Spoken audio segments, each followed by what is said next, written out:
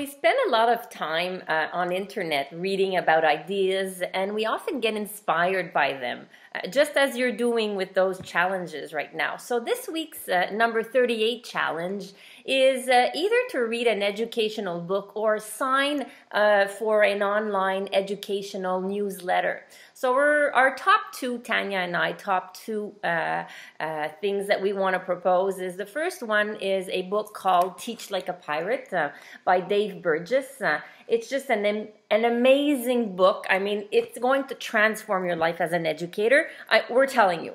Uh, and the other one that we're saying is that if you want to, you know, you're, you don't want to read a, a, complete book and you rather read the weekly uh, information or ideas, is to sign up for a newsletter. And uh, one very, very interesting uh, website that allows that they send newsletter is Edutopia. So E D U T O P I A dot org, Edutopia, uh, to receive uh, their newsletter with amazing ideas. You can go on their website as well. Uh, they have uh, videos, tutorials, uh, uh great, amazing ideas. Ideas. They have uh, uh, research on education. So enjoy and let us know which one you preferred. Bye.